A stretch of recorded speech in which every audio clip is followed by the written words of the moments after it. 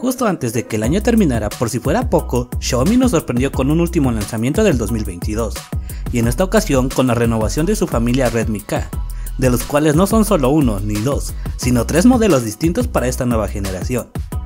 Los Redmi K60e, Redmi K60 y Redmi K60 Pro son terminales que hay que tener en el radar, ya que seguramente serán estos los Poco F5 para la versión global, aunque suelen venir con variantes, pero aún así este es el punto de partida. Así que si no quieres perderte de todo acerca de estos nuevos Redmi K60, no te despegues de tu pantalla, que ya comenzamos.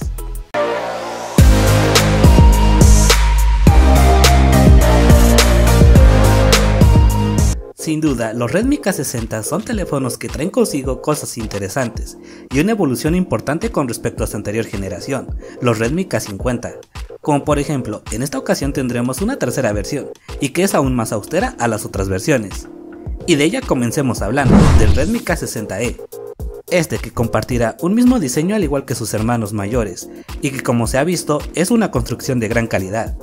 Pero, adentrándonos a su ficha técnica, aquí veremos un panel AMOLED de 6.67 pulgadas, con resolución W Quad HD Plus, además de que también veremos una tasa de refresco de 120 Hz. Aquí veremos una tecnología menor en comparación con sus hermanos mayores, ya que aquí tendremos una pantalla OLED Samsung E4. También veremos una buena tasa de refresco y un brillo decente con sus 1200 nits. Mientras que en potencia veremos al potente Dimensity 8200, acompañado por 8 o 12 GB de memoria RAM y 128, 256 y 512 GB de almacenamiento interno, todo esto con tecnología UFS 3.1 este chipset que hemos visto pocas veces y que solamente Vivo le ha dado uso, pero esto sin duda es un procesador con excelentes rendimientos y potencia para cualquier app o juego que tú le pongas. En cámaras tendremos un módulo triple, con una principal de 48 megapíxeles y estabilización óptica de imagen, un gran angular de 8 megapíxeles y por último una macro de 2 megapíxeles.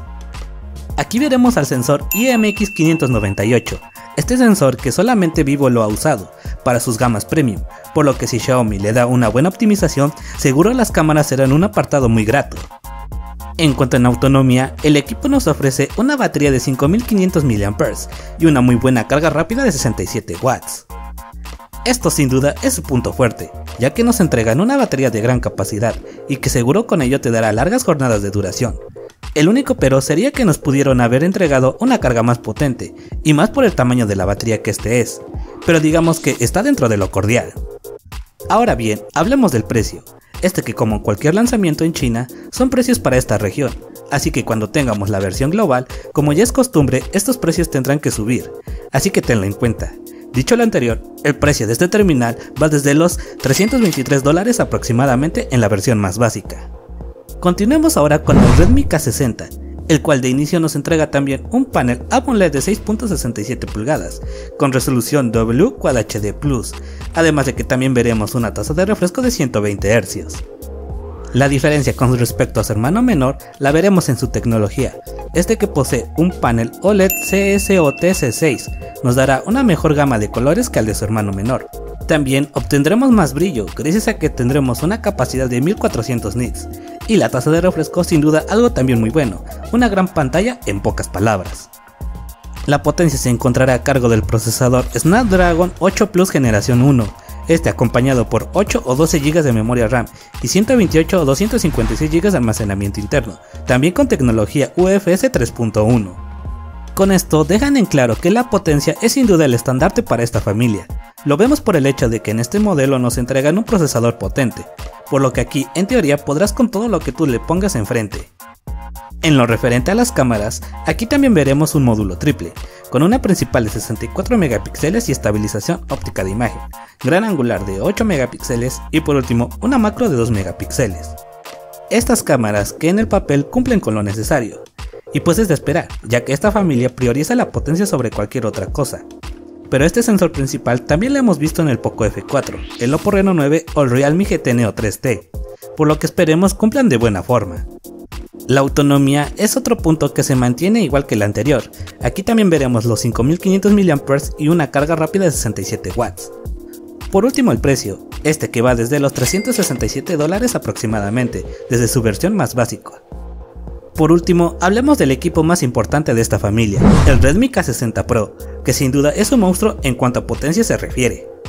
Ya que aquí tenemos al reciente Snapdragon 8 Generación 2, acompañado por 8, 12 y 16 GB de memoria RAM y 128, 256 o 512 GB de almacenamiento interno, además de que tendremos UFC 4.0, lo cual te dará una velocidad brutal.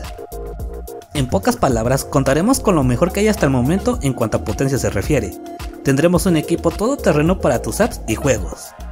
Además de que en esta generación veremos que las cámaras también serán un punto importante, lo cual le suma un extra para esta ocasión, ya que veremos un módulo triple con una principal de 50 megapíxeles y estabilización óptica de imagen, gran angular de 8 megapíxeles y por último un sensor macro de 2 megapíxeles. Y la razón por la que destaca es que aquí veremos al sensor Sony IMX800 como cámara principal, mismo que hemos visto en teléfonos premium como el Honor 70 Pro o el mismo Xiaomi 13, así que esta vez no descuidan la cámara y nos dan un apartado fotográfico muy bueno, por lo que esperemos Xiaomi haga una buena optimización de estas cámaras. En cuanto a la autonomía, aquí veremos una batería de 5000 mAh, una carga rápida de 120 watts y además de que también tendremos carga inalámbrica de 30 watts. Pese a que tal vez se ha recortado un poco su capacidad, esta sigue siendo una batería grande, y se complementa por una potencia de carga bastante buena, por lo que en este apartado también tendremos grandes resultados. Por último el precio, este que salió desde unos 485 dólares aproximadamente en la versión más básica del equipo, un precio bastante cordial por lo que nos ofrece, y que sin duda vuelve a poner la vara alta para las demás marcas.